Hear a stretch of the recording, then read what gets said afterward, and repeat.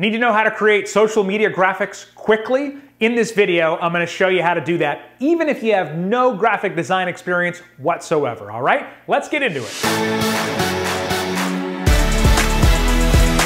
What's up, busy people? Welcome to 5 Minute Social Media, where we help busy business owners cut their social media workload by 50 to 80% while increasing their results. How do we do it? We eliminate the tasks that don't make a difference. So if that's the kind of training you're looking for, take a second, hit subscribe, click that bell.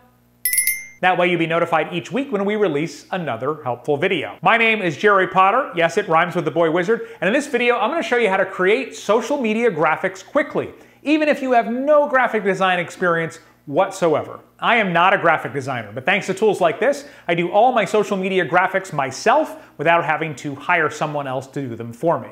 And today I'm showing you one of my favorite tools called Adobe Spark. When it comes to creating social media graphics quickly, one of the things I love about Adobe Spark is you can see as soon as I logged in here, they have all of these pre-sized templates. So let's say I want to make something for an Instagram post. I can click on Instagram post here. It already knows the proper size and it opens it right up. The other thing that helps people like you and I get started really quickly is from the beginning, they have so many templates. So I can come over here and search templates, and let's say I want to do something for an upcoming live video, a Facebook Live or an Instagram Live I'm going to do. So I can go ahead and search live video.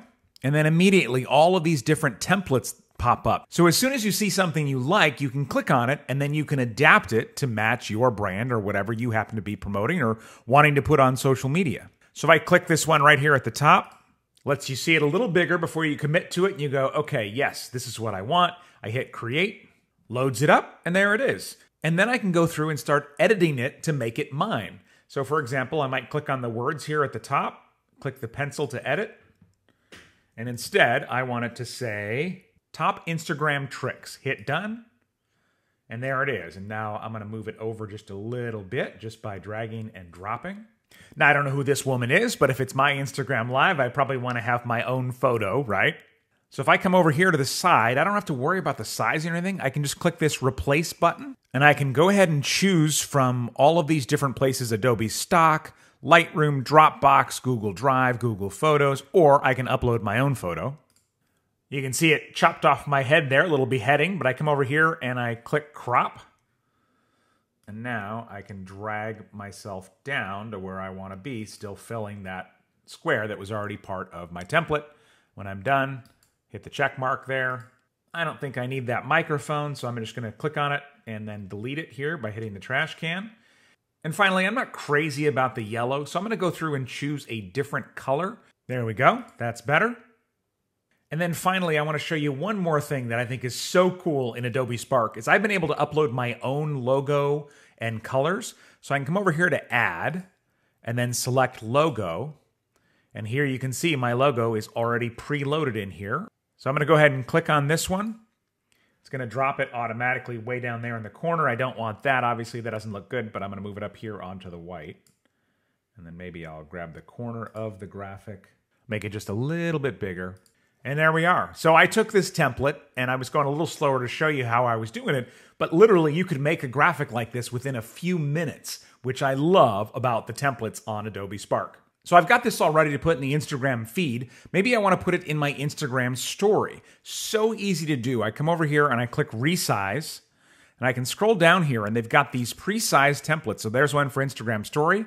I click on it and just like that, it automatically adjusts the whole thing for Instagram stories. Then I can go through if I want and make a couple of quick adjustments. Obviously, you can adjust as much as you want, but the neat thing is you don't have to start from scratch when you're creating for something new. I want to show you something else that's really cool about this particular program is if you are making graphics for your brand over and over again, you can store your brand. So I'm going to click here on brands and you can see I've already got my brand in here. So it's got my logo. You can have more than one version of your logo. So this one has black text. This one has white on the bottom. You can have your primary colors, your color scheme in there, your fonts, so they're all ready to go. So once you've got your colors and logo and all that loaded up, you can access them no matter what you're designing, which is really great. I don't ever have to go back and look up this hex code in a document somewhere because it's already waiting for me because I've already put in my main brand colors. So since all that's saved, now I can go to create a project here and go to branded graphic. Then I go through and I choose the size of what I want. So let's do a Facebook event cover for this. Click on that, hit next. You can see it's already loaded with my brand color as well as my logo here in the corner. So it just makes things much, much faster. And of course, you can change all of this, choose a new template, overwrite the entire thing if you want to. Now, Adobe Spark has a free plan where you can get in there, play around, see what it's all about. But if you use my link in the description of this video, you can actually get a discount on the paid version of Adobe Spark. This is not a discount you can get on their website, so use the link below this video and get started with Adobe Spark. If this video is helpful, consider giving them a like, leave me a comment. I read every single one. Thank you so much for watching 5 Minute Social Media. You're not only supporting me, but also my two tiny superheroes at home.